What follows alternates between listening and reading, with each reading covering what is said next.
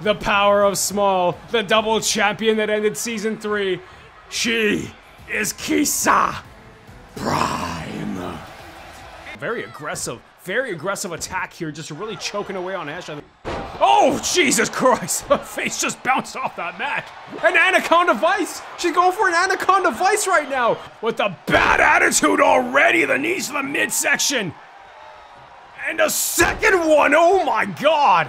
And going for a back body drop. Well, then again, another sh standing shooting star.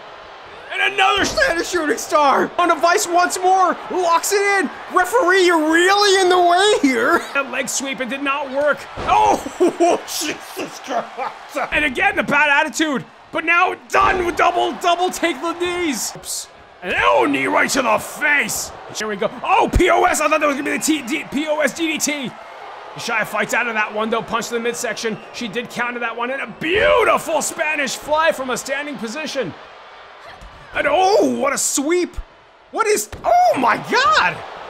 Pinfall here, will that be enough? Will that be enough to put Kisa away? Oh, she kicks out. And now Hash with a knee right to the face, Jesus Christ! Oh! Top, and then, oh my god! What a move! What a moonsault! One, that's gotta be it! That's gotta be it! Oh! She kicked out! What? Not looking. Oh, wait a minute. Has just tapped. Oh my god. Has just tapped. That's not something that I was expecting.